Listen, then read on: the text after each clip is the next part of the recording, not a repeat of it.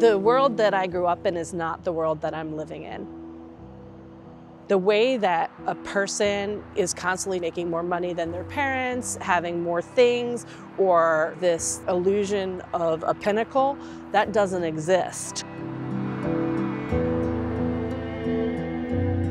I came out here to take care of my father right before the pandemic. He ended up passing, and then the pandemic happened, and I lost my job.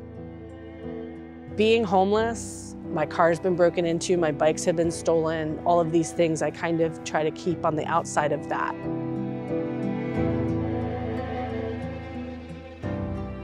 Being able to do art, being able to express myself, to be able to feel like that I'm not to be edited in any capacity is very important to me at this point. Just do I have to make it round again? Nope, just go ahead, throw it down just like it is. That's okay. Nice. What Path with Art did for me was change I am. I am an artist. I am an advocate. I am happy. I am content. I am.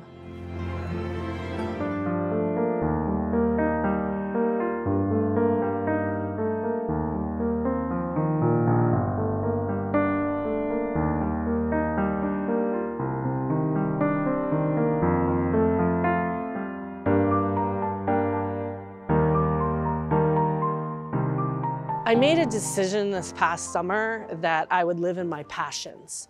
And I had passion for photography from like day one.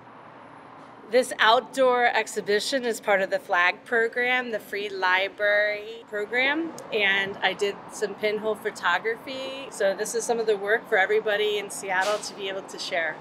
I want people to look at the art, be provoked, have inspiration, have aspirations, and just see that you can do anything you want from nothing. Art is all in us, and how do you get it out for other people to see?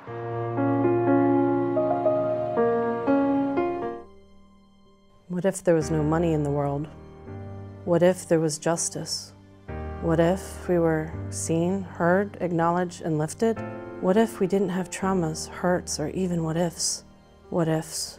We are our what ifs. Before Path with Art, I didn't have a sense of who I was. I didn't have a way to defend myself. I didn't have a way to express myself. I didn't have a way to be myself. And now I am an artist. I am a photographer. I am a wheel thrower. I am an advocate. I am a friend. I am a community member. The list just keeps on getting longer.